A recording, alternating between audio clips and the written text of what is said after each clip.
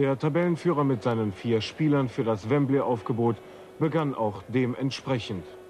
In derselben Besetzung wie beim Sieg im UEFA-Cup-Spiel in Ostrau erspielten sich die Gladbacher auch die ersten Chancen. Zunächst war Rünio derjenige, der eine Gladbacher Führung verhinderte. Mehr und mehr jedoch waren es die Gladbacher selbst. Wimmer machte das Spiel des VfL. 13. Minute. Heinkes und Simonsen verpassen. Jensen gegen Wörmer. Und Heinkes erzielt wie in Ostrau das einzige Tor für Gladbach. Das 1 zu 0 bedeutet jedoch keineswegs, dass man nichts von Rot-Weiß Essen gesehen hätte.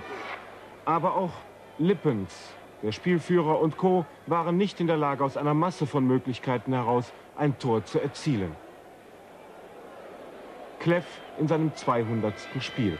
Lippens hier mit einem seiner unzähligen Tricks. Burgsmüller spielt ihn sofort wieder an. Die Flanke von Lippens. Kleff kann nicht festhalten. Burgsmüller verpasst. Und Libero Witschorkowski. Ja, da muss man sich wirklich an den Kopf fassen. Dann Dörre, wie so oft in den von Lippens freigemachten Raum auf links vorgestoßen. Dann Gladbacher Angriffsspiel. Viele Querpässe, oft Gelegenheit für eine aufmerksame Abwehr einzugreifen. Also kraftraubendes Nachsetzen, wie hier durch Simonsen und Bohnhof. Ein neuer Anlauf über Danner und Kulik. Fast steil gespielt zu Berti Vogts.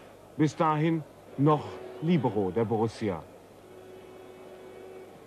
Ich sage noch Libero, weil der folgende Konter der Essener Folgen in jeder Hinsicht haben wird. Denn mitten in die druckvollste Phase der Gladbacher hinein, in der ersten Halbzeit, fällt der Ausgleich für Essen. Zu Recht war Trainer Hennes Weißweiler unzufrieden mit seinen Abwehrspielern. 25. Spielminute 1 zu 1. Torschütze für Essen Warmer.